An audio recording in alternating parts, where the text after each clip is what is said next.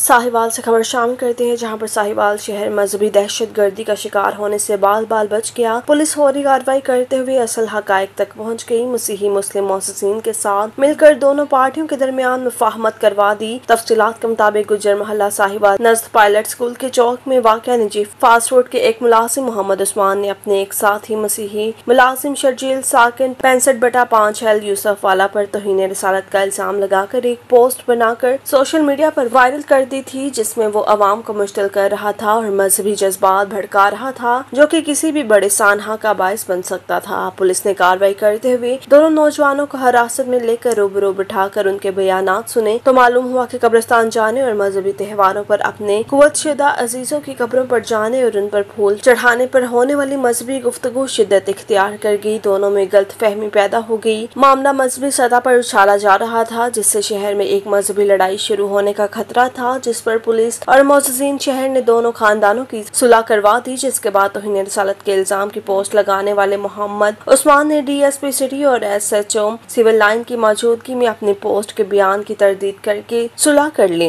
इस सारे मामले को हल करने के लिए साहिवाल के आला अफसरान, जिसमें DPO Sahiwal, Faisal Shahzad, DC Sahiwal, miss Saima Ali, DSP Rana Iftar incharge security branch, bishop Ibrahim Azeem, Daniel, mister Wilson Raza, coordinator S जनूबी पंजाब शामिल थे, जिनकी बड़ी कोशिशों से साहिवाल एक बड़े हादसे से और मजहबी इंतहा पसंदी से महफूज रहा। इस मौका पर pastor Peter Imran, pastor Lucas Adnan Alfred Gill भी मौजूद थे।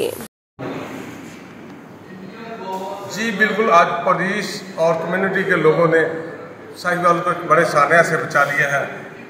दो दोस्त, सजील और उस्मान के दरमियान चंद मजहबी बना पर गुफ्तु जो तूल पकड़ गई, जिसको मजहबी रंग देने की कोशिश की गई, जिसके बाद तमाम पुलिस और तमाम लोगों ने आपस में वहाँ मिलकर इन दोनों को सुना और सुनने के बाद जो भी मामला थे, उनको गलत फहमी को दूर किया और आज इस मुकाम पर है कि इस शहर को बड़ी तबाही से बचा लिया गया है। मेरे साथ अभी मौजूदा उस्मान। इनसे बात करते हैं, क्या बात हुई थी और क्या दोस्ती थी आपकी? हमारी बहुत गहरी दोस्ती थी और हम डेढ़ दो साल से एक दूसरे के बड़े क्लोज थे हमारे फैमिली का ताल्लुकात थे, जिसमें चाँद रात को जब हम ड्यूटी पे यहाँ से घर घर के लिए रवाना हुए तो हमारी कुछ कब्रस्तान जाने की वजह से कुछ मामला हुए को कोई मिसअंडरस्टैंडिंग हुई कब्रस्तान जाने की वजह से। तो जिसकी बिना पर मुझे अफसोस हुआ और दुख हुआ कि ये मेरा इतना गहरा दोस्त और इतना अच्छा दोस्त होने के बाद इसने ये, इसको ये बात नहीं करनी चाहिए थी। जो कि मैंने पोस्ट भी लगाई और अपने कुछ रिलेटिव और रिश्तेदारों और दोस्तों को भी बताया। तो वो आज हमारी मिसअंडरस्टैंडिंग ख़त्म हो गई है। तो बस जी अभी शजील से बात करते हैं। कितनी देर की दोस्ती है और क्या मामला हुआ? डेढ़ दो साल से हमारी दोस्ती है। एक जगह पे काम करते हैं। काफ़ी हमारे अच्छे ताल्लुक हैं फैमिली भी और जैसे याराना भी। और बस हमारी कब्रिस्तान जाने में एक टॉपिक पर बहस हो गई। जिसकी वजह से दोनों के दूसरे पर काफ़ी गुस्सा आया। फिर सोशल मीडिया पे पोस्ट कर दी। जिसकी वजह से काफ़ी ज़्यादा हंगामा होने हुआ भी और कुछ शुक्र है खुदा का भी नहीं हुआ और बिशप साहब ये बताइएगा ये दोनों की बातें आपने सुनी है। आपने क्या इन दोनों की बातों से किया कि ये कुछ और बंदे हैं जो ऐसे करते हैं? ये बड़े ही अच्छे और गहरे दोस्त हैं ये एक ही गाँव से तलब रखते हैं।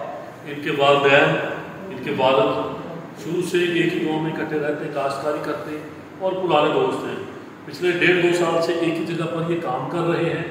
और एक ऐसी मजहबी गुफ्तु एक ऐसा मौजू जिस पर दोनों के दरमियान मिसअंडरस्टैंडिंग हुई गलतफहमी हुई।